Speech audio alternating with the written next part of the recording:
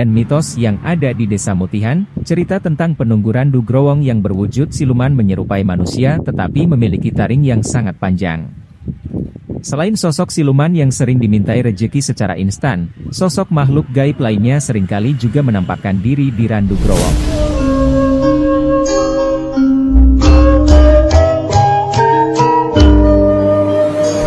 warahmatullahi wabarakatuh. Hadir bersama Sang Hyang. Chanel yang mengisahkan kisah alam semesta.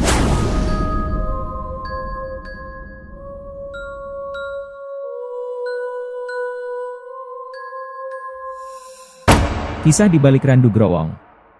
Yang mitosnya sebagai Bang Gaib. Pesugihan ini berbeda dengan tempat keramat lainnya, yang pernah dipergunakan para pemburu pesugihan untuk mencari uang dengan cara-cara instan.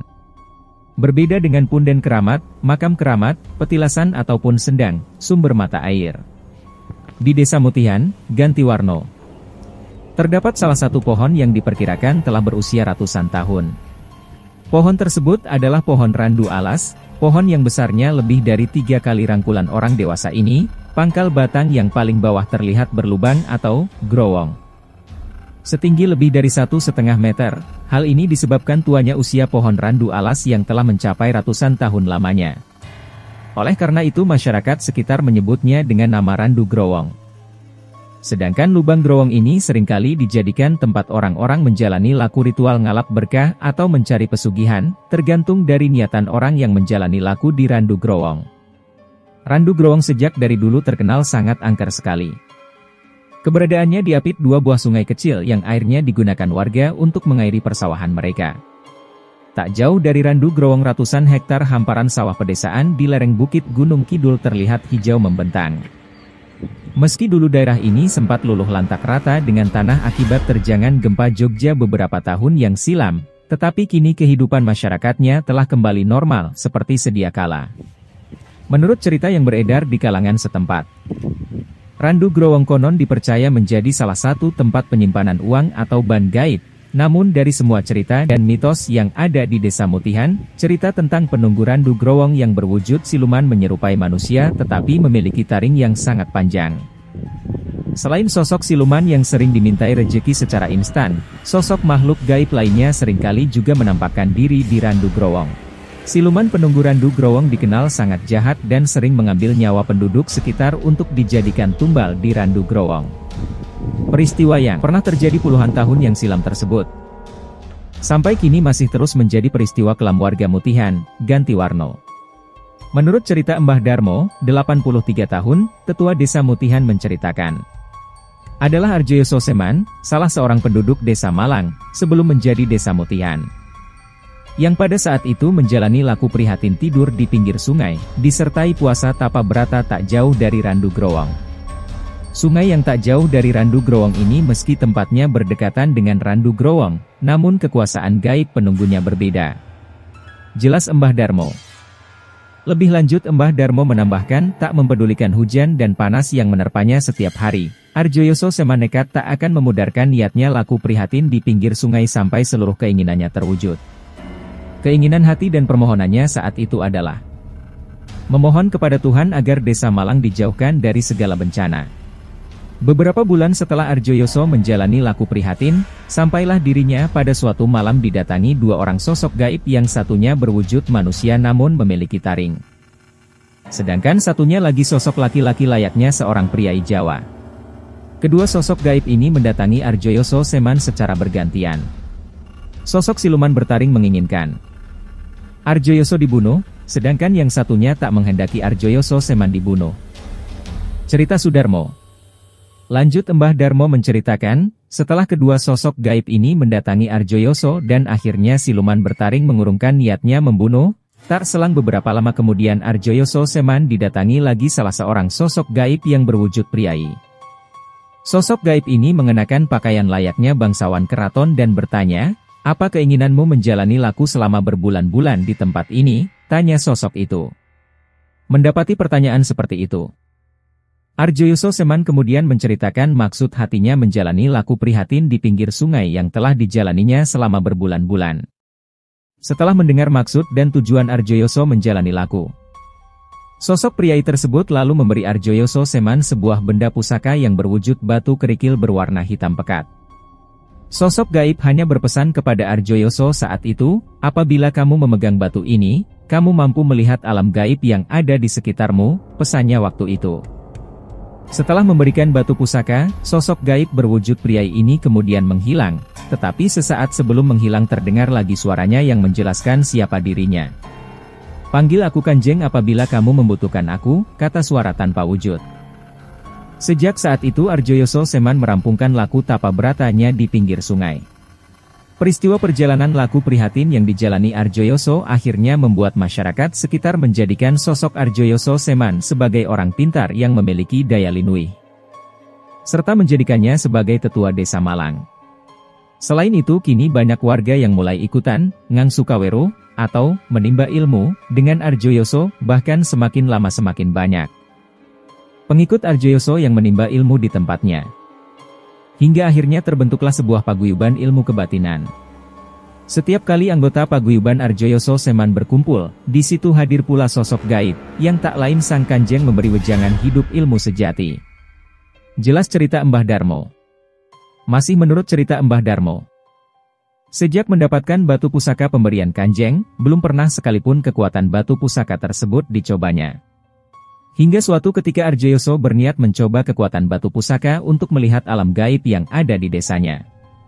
Sedangkan tempat yang menjadi tujuannya adalah pohon Randu Growong. Pada saat itu Randu Growong belum dikenal sebagai tempat untuk melakukan ritual mencari pesugihan. Ataupun penyimpanan uang gaib atau ban gaib. Masyarakat sama sekali tidak tahu siapa sosok gaib penunggu Randu Growong, meski angkeran Randu Growong sudah sejak dari dulu terkenal. Saat pertama kali mencoba melihat apa saja hal gaib yang ada di Randu Growong. Arjoyoso Seman dikagetkan dengan adanya berbagai macam makanan sesaji yang ada di sekitar Randu Growong. Makanan-makanan tersebut merupakan sesaji milik warga yang digunakan saat menggelar hajatan. Rupanya selama ini sesaji-sesaji milik warga, banyak yang diambil penunggu Randu Growong. Dan disimpan di tempat ini, batin Arjoyoso Seman saat itu. Wujud Randu Growong sendiri saat dilihat juga berubah menjadi sebuah istana kecil yang dipenuhi dengan banyak uang dan harta karun emas. Arjoyoso yang melihat banyaknya makanan dan uang di tempat ini mencoba mengambilnya tanpa sepengetahuan penunggunya. Beberapa makanan dan uang diambilnya dan dibawa pulang dibagi-bagikan kepada pengikutnya. Kejadian mengambil makanan dan uang terus berlanjut, setiap kali Arjoyoso melihat gaib di Randu Growong. Sampai akhirnya berkurangnya makanan dan uang di Randu Growong diketahui juga oleh penunggu Randu Growong. Sosok siluman manusia yang bertaring sangat panjang. Marah mengetahui barang miliknya hilang dicuri Arjoyoso. Keduanya lantas bertarung mengadu kesaktian. Namun kesaktian yang dimiliki Arjoyoso Seman ternyata tak mampu melukai apalagi mengalahkan penunggu Randu Growong.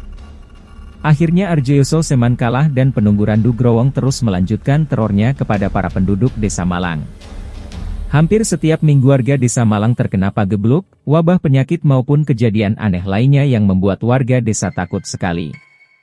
Sebagai seseorang yang dianggap paling mampu melawan penunggu Randu Growong, warga menumpukan keselamatan mereka di atas pundak Arjoyoso Seman. Arjoyoso sendiri menghimbau kepada seluruh warga desa agar tidak tidur di dekat gedek atau dinding yang terbuat dari anyaman bambu. Hal ini untuk menghindari teror penunggu Randu Growong, karena setiap kali melakukan aksi terornya, penunggu Randu Growong sering kali melempari warga dengan menggunakan maisan atau tonggak kayu nisan kubur, lewat dinding rumah yang terbuat dari anyaman bambu. Meski dibantu dengan seluruh pengikut paguyuban, Arjoyoso ternyata tetap tak mampu menghadapi penunggu Randu Growong.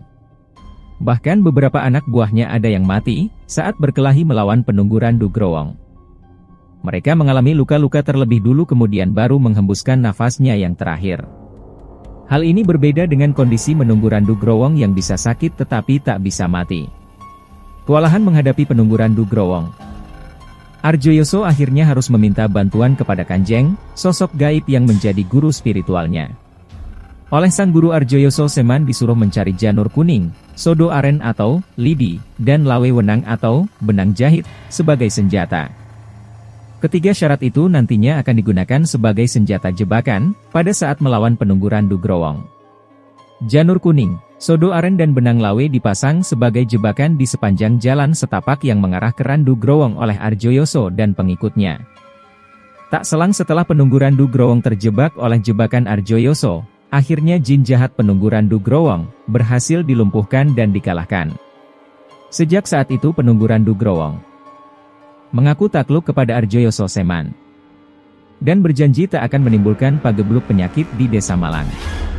Atas kesepakatan bersama antara warga dan sosok gaib Guru Arjoyo Soseman, Desa Malang akhirnya diganti dengan nama Desa Mutihan. Sedangkan sosok gaib penunggu Randu akhirnya banyak yang ikut dengan Arjoyoso. Salah satu pengikutnya bernama Kalmono, jin-jin tersebut konon bisa dimintai apa saja, yang penting dikasih makan, jelas Embah Darmo, laki-laki tua yang telah dikaruniai dua orang anak. Cerita Randu Growong menjadi tempat penyimpanan uang gaib, sampai sekarang masih terus berlanjut, bahkan semakin hari semakin menjadi. Tak jarang banyak orang yang melakukan ritual di Randu Growong demi untuk mendapatkan harta benda dari ban gaib. Mereka percaya, dengan melakukan tapa berata di dalam Randu Growong, keinginannya untuk mendapatkan uang dapat terwujud. Ria usia, 24, salah seorang yang pernah menjalani laku ritual di Randu Growong, mengatakan, Selama tujuh hari tujuh malam dirinya pernah menjalani laku ritual di Randu Growong, sampai akhirnya Ria didatangi sesosok laki-laki tampan, seperti layaknya seorang bangsawan karaton. Namun penjelasan yang disampaikan laki-laki itu membuatnya terkejut. Harta yang dicari dengan cara cepat, tetap akan menggunakan pitukon atau pembayaran, tumbal nyawa, ujar laki-laki itu. Oleh karena alasan tersebut, maka Ria akhirnya mengurungkan niatnya, memburu Rojo Brono atau harta benda di Randu Growong. Entah tumbal apa yang akan diminta penunggu Randu Growong sebagai timbal balik pemberian emas. Namun yang pasti sejak ada suara yang mengingatkannya, Ria akhirnya tak jadi melanjutkan perburuannya mencari rejeki dengan cara singkat, sekian.